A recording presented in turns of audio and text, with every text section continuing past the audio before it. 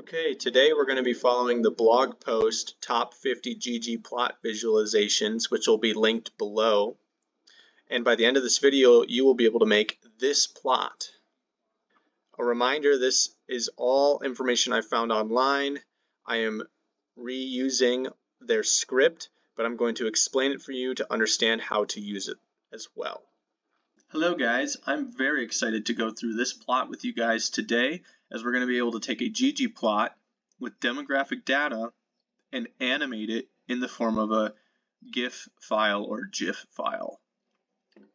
So what you'll need to install is ggplot if you haven't already, but more specifically you'll need ggAnimate, which is the animation process, Gapminder, which is the demographic data of global uh, population, life expectancy, and GDP per capita between the years 1950 and 2010. You're going to also need the, the package animation, GIFski, which will allow you to make the, the GIF package or GIF, and the Magick package. Once you have those installed, load them in your library.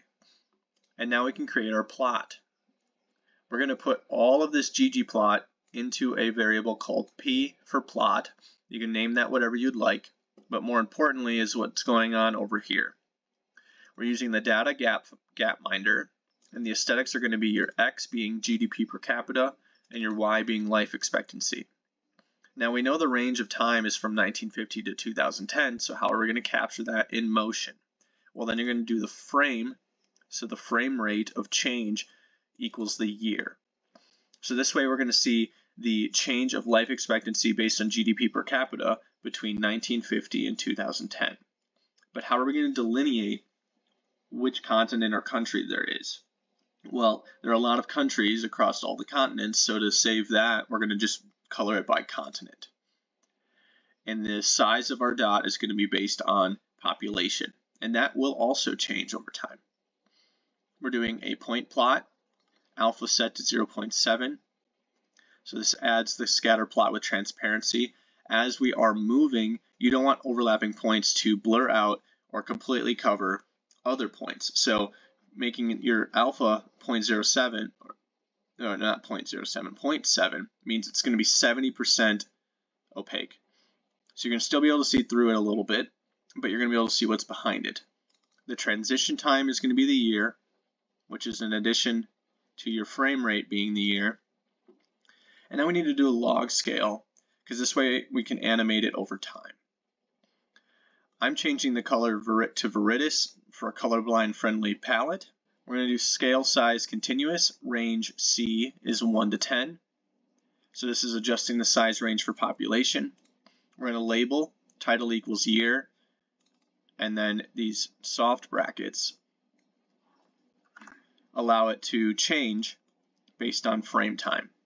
So the year is going to show and then this indicates, based on the frame, the year is going to change here. So it's going to say year, it'll start 1950, and it will progress to 2010 based on these soft brackets.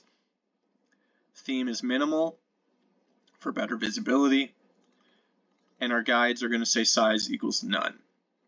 Okay. We bin that into plot P.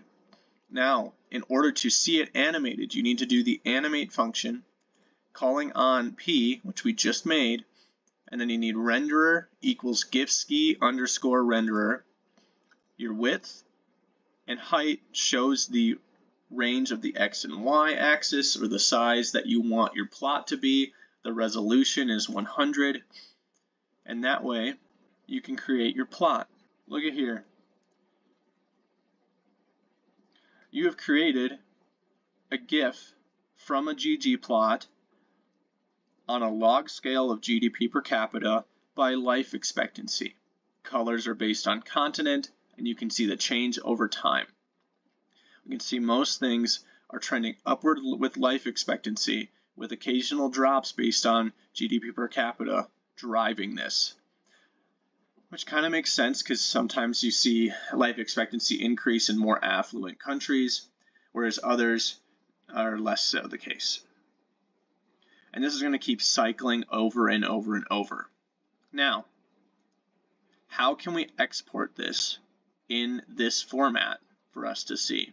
Well, let's go through that. Now you need to do animation save.